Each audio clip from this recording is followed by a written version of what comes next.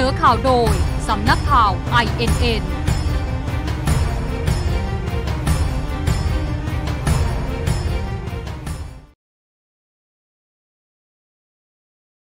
9นาฬิกามาติดตามข่าวกับดิฉัน อัชราจ้อยจาจากสำนักข่าว INN ค่ะ เริ่มต้นกันที่สถานการณ์โควิด -19 ทั่วทั่วโลกกันก่อนนะคะ 192 ประเทศทั่วโลกป่วยติดโควิด -19 แล้วค่ะ มีผู้ติดเชื้อ 336,838 ราย เสียชีวิต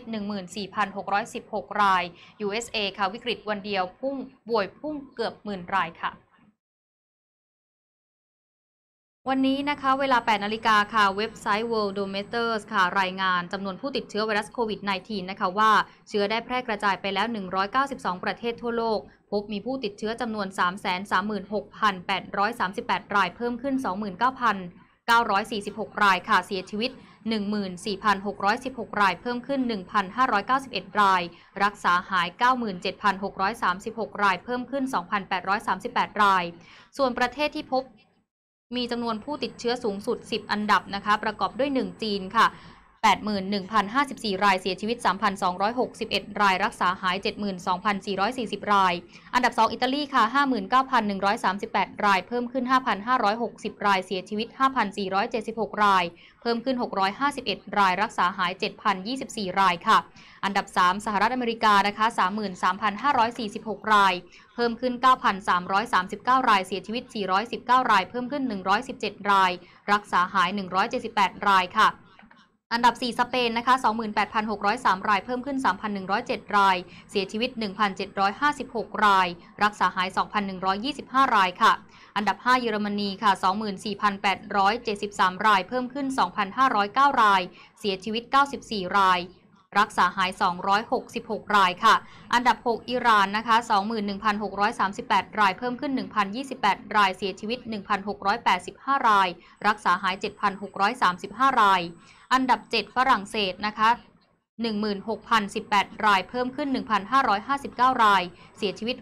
674 ราย รักษาหาย 2,200 รายค่ะ อันดับ 8 เกาหลีใต้ 8,897 ราย เพิ่มขึ้น 98 ราย เสียชีวิต 104 ราย รักษาหาย 2,909 รายค่ะ อันดับ 9 สวิตเซอร์แลนด์นะคะ7,474 ราย เพิ่มขึ้น 611 ราย เสียชีวิต 98 ราย รักษาหาย 131 ราย อันดับ 10 ค่ะสหราชอาณาจักร 5,683 ราย เพิ่มขึ้น 665 ราย เสียชีวิต 281 ราย รักษาหาย 93 รายค่ะ ขณะที่ประเทศไทยนะคะอยู่ที่อันดับที่ 35 ค่ะ ติดเชื้อ 599 ราย เพิ่มขึ้น 188 ราย เสียชีวิตคงที่ 1 ราย รักษาหาย 44 รายค่ะ ยังคงอยู่กันที่สถานการณ์การติดโควิด -19 โควิด -19 ที่ต่างประเทศนะคะ อังเกลาเมเคิลค่ะนายกรัฐมนตรีของเยอรมนีมีการกักตัว 14 วันหลังหมอที่มาฉีดวัคซีนกลายเป็นผู้ติดเชื้อโควิด -19 ค่ะ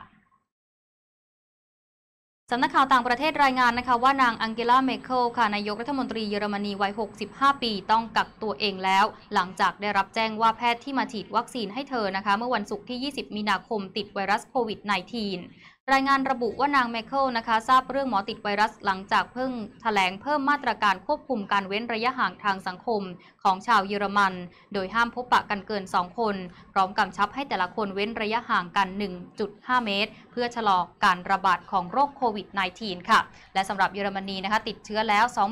23,974 คนเสียชีวิตแล้ว 92 คนค่ะ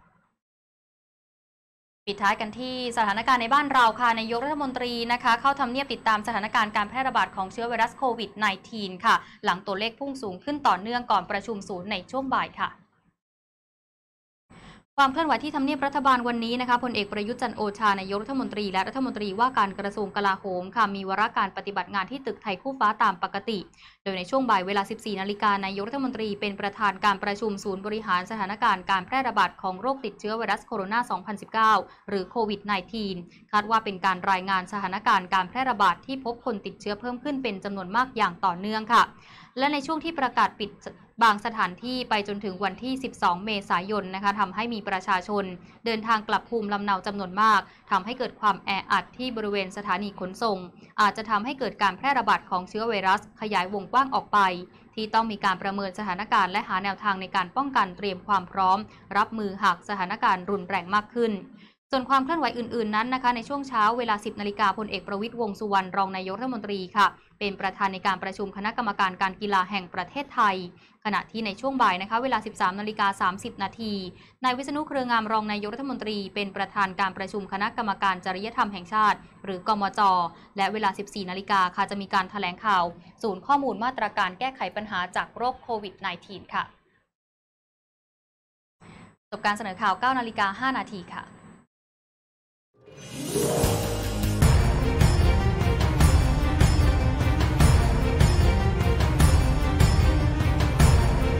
ข่าวโดย สำนักข่าว INN